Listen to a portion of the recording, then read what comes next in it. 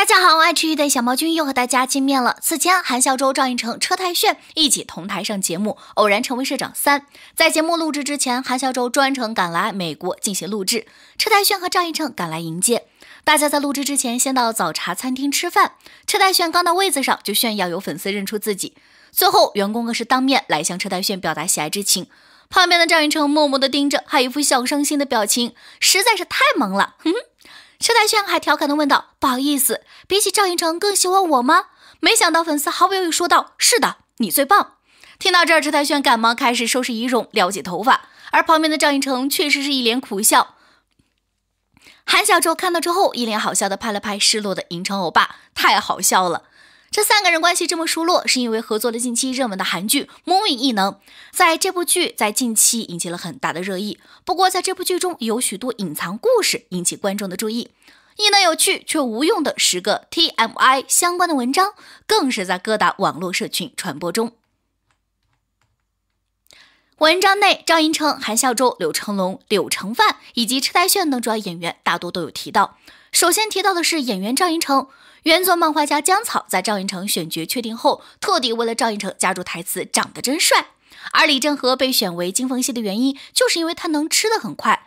另外一个有趣的部分是，李正和为了角色增重三十公斤，并维持一年；饰演李强勋的金度勋，则是为了角色维持了一年的百分之六体脂。两个人都觉得对方很可怜。另外也提到了演员们的年纪，扮演高中生冯基修的申载辉，实际上是一九九四年出生，今年已经三十岁。而闪电侠车太铉经常受到前司机李东勇的帮助，两人因剧中角色常被人认为年纪差距很大。可是实际上，一九七六年生的车太铉却是大李东勇三岁的哥哥。还有剧中饰演母子的韩孝周以及李正和，实际相差十一岁。不过为了能够更融入角色中，两人从第一天见面就互相称呼对方是妈妈跟儿子。就连李正和手机内存储的韩孝周联系信息写的也是妈妈。接下来是演员刘成龙在第一次见剧中扮演自己妻子和女儿的演员郭善英、高允贞前，还为了两人精挑细选了合适的花束，以及剧中赵寅成和韩孝周接吻的场面，则是参考了夏卡尔的画作获取灵感。甚至漫画家江草从来都没有吃过南山炸猪排，全都列在榜上。虽然不知道这些 TMI 是否全都是事实，但网友们还是都看得很开心。网友也笑说：“难怪公车出事这么多次，他也什么都没说，就是因为不能对哥哥说什么。”车太铉竟然是哥哥，什么？居然没吃过南山炸猪排？另补充一个 TMI，演强勋妈妈的演员是演员陈山圭的老婆。每一个 TMI 都太有趣了。然后在这部剧中，刚开始韩孝周接演的时候压力非常大，甚至打算拒绝参演了。此前，韩孝周在座谈会中回想起自己出道时的状况，并表示，塑造一个角色的过程对现在的自己来说是越来越有趣了。韩孝周说明，虽然我去读了戏剧电影课，但因为一考上就出道，所以并没有太多时间能够学习，所以对自己的演技没有足够的自信。一直以来都是我自己去冲撞，然后因此学到东西，不断重复这样的过程而来，感觉就像是以卵击石。接着，韩孝周也自曝了当时自己的情况。因为戏演不好，所以每天都在哭。虽然很不想承认，但我真的演技很差。不过韩孝周也提到了改变自己的契机。我在拍摄《春日华尔兹》时，金海淑老师在剧中饰演我的妈妈，老师的演技真的非常好。韩孝周接着说：“所以我还曾问老师，我为什么演技会这么差？我真的好累。但是老师却对我说，我二十到三十年来积累的东西，你一次就想全部得到，当然是不行的。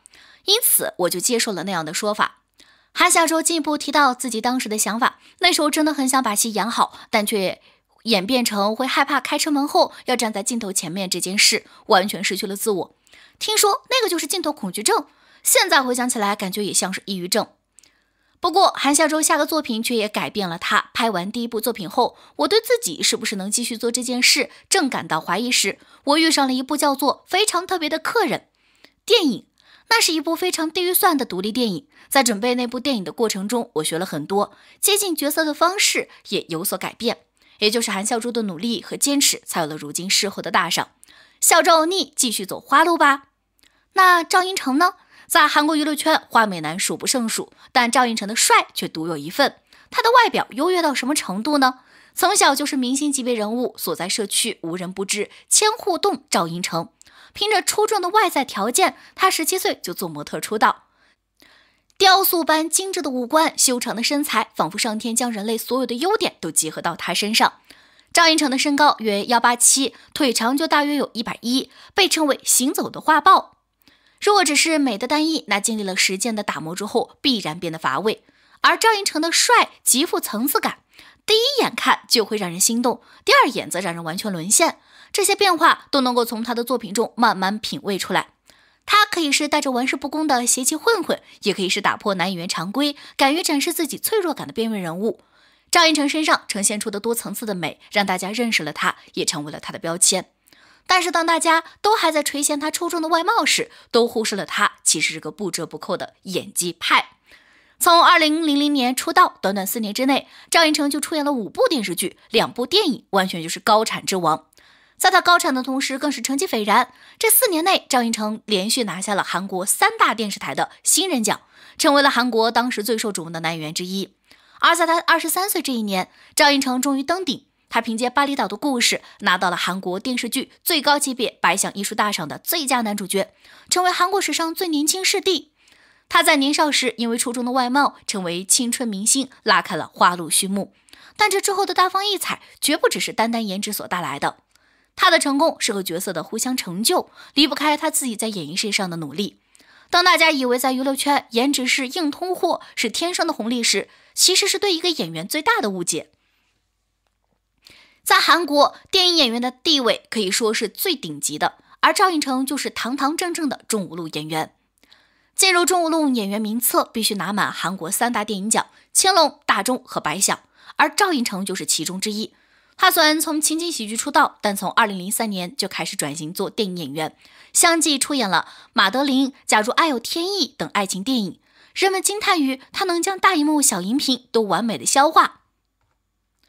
众所周知，电视剧对表演的细腻度、演员的外形都没有更苛刻的要求，所以会导致很多电视剧演员一上大荧幕就失去了光彩。但赵寅成不仅在外形上拥有先天优势，在演技上也能够切换自如，诠释各类型的角色。当观众们以为他只能凭借俊美的面孔出演爱情类的影视作品，赵寅成就凭着过人的演技实力，狠狠地打了他们的脸。在二十五岁的时候，赵寅成迎来了自己的高光时刻。他在卑劣的街头中饰演出身贫民窟的混混。赵寅成将这个混混演绎的不止流于表面，而是将本性善良的他在裹挟着欲望、背叛、利益之恶中的挣扎演绎的淋漓尽致。这部电影迄今为止都被许多人视为是最经典的类型片之一。凭借着这部片子，赵寅成一举提名三大演技大奖，可以说韩国史上寥寥无几。在韩国所有八零后演员中，只有曹承佑、柳承范和刘亚仁拿过影帝，而赵寅成是紧随其后被提名影帝次数最多的。即使是作为形象光鲜的当红男演员，赵寅成仍旧十分大胆，敢于挑战自我。在当红时期接拍了同性题材《双花店》，大尺度裸体上阵表演，让他受到了许多非议。但面对外界的争议，赵寅成则认为，好演员应该有自己的信念感。在退伍后的几年时间里，他几乎每年出一部作品，而且不补出精品，口碑极高。比如那年冬天，风在吹，没关系，是爱情啊，这些都让他再一次爆红，也让他再一次获得白象视帝的提名。不得不说，银城欧巴简直是为演戏而生的。